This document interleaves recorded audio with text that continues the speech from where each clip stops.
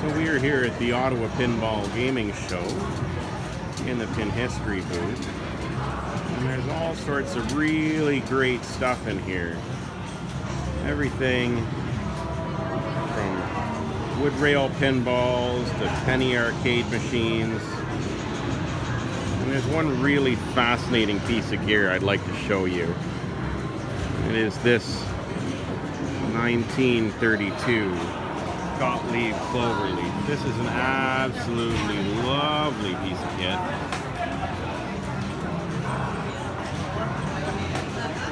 Operates a penny at a time. And it has a really interesting little mechanism in it. A skill shot mechanism. First thing I've ever seen that works this way. A little complicated mechanism on the inside. And when this came into the show, it was defeated. Here's how we uh, got that fixed up.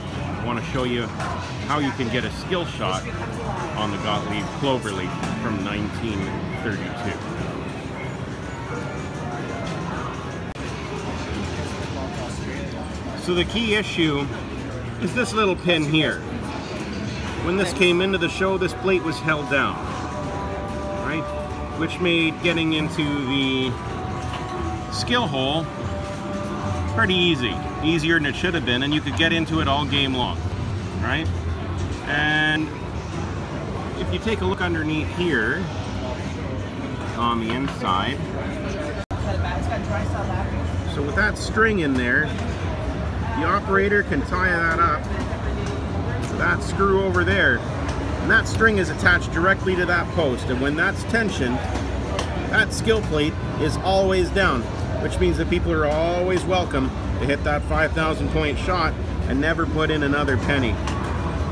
So it's a dip switch from a pre-electronic time. So here's what we found. When you take off that spring, this pin pops up right here, blocking entry to the hole. And so we thought, hey, that can't be right.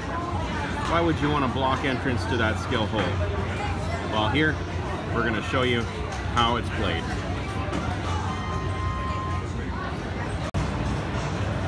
All right, so you are having a lousy, lousy game, right? You, you you've got a beer or a whole round of them on the line with you and your buddies, and everything that you fired ends up in the out hole, right? What am I going to do to rescue this? Well, a round of beer might cost a whole nickel, but I got a penny in my pocket and I think I'm a pretty good shot. So here's what I'm gonna do. I've got a couple of balls left, but I know I know it's really not gonna count for a whole lot at this point. So I got a couple of balls left. I'm going to try to start things again. And because I've got a couple of balls left in my game, right, that's what the magic of this makes it work, right? So here's what happens. You're gonna push in the penny and take a look and see what happens here with the skill hole. When I push in this penny, all of my balls drop, but that lockout plate gets out of the way. So here's what I can do now. I can put another ball in the trough, and depending on how good I am, right, I might be able to just ease it into that hole. Oh, I didn't make it, right? Maybe I got one more chance, right? Because there's a couple of balls that it'll let, it'll let go. I can actually just take this again, see if I get it in this time. And look at that, it goes into the skill hole. If I try again, it's not gonna let me. It's limited me to a couple of balls.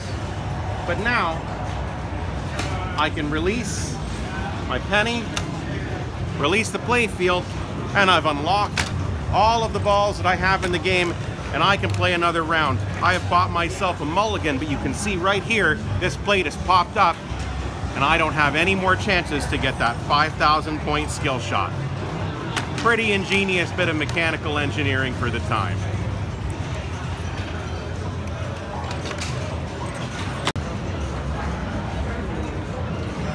All right, let's play a game. So from the start, right, we're gonna drop a coin. It's gonna put our balls into the unit. And you'll notice that my skill plate is up. I can't use that right now. It's no good for me, right?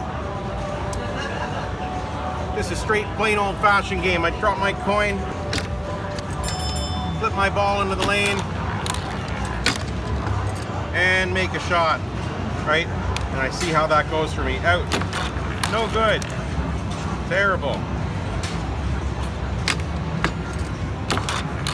Although I get 10 balls to redeem myself, right? Let's see how I do. Oh, this isn't going well for me. I think I'm gonna have to buy that next round. Uh, see, when the glass is off, this little thing has to be flipped back after every ball. But I think I use that to my advantage. I got a whole 300 points.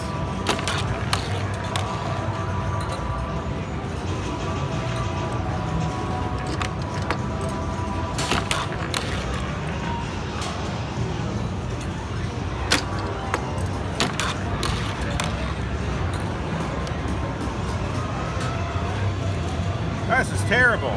See, I ought to really pay more attention to how I'm shooting and the strength. There we go.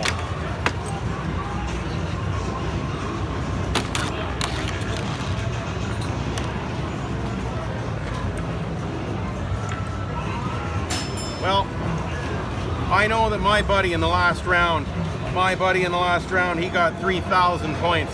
And I know at this point, I'm on the hook. So here's what I'm gonna do. I'm gonna gamble, I'm gonna mulligan, I'm gonna put my penny down, and I'm gonna try to start again. So here's how this is gonna work, right? I know I've got a couple of balls left, but the game's a wash. I'm gonna put my penny in. The post's gonna come down, I'm gonna start fresh. To make a real easy shot. And bingo, away I go. So there we are. The skill shot works. When I pull this back, the pin drops, it slides into the hole, so we know that I made the shot, and I can start with 5,000 points in this round. Terrific. My buddy's buying the next round, and it cost me two cents instead of just one. Fantastic. 1932 Gottlieb Cloverleaf. A real beauty.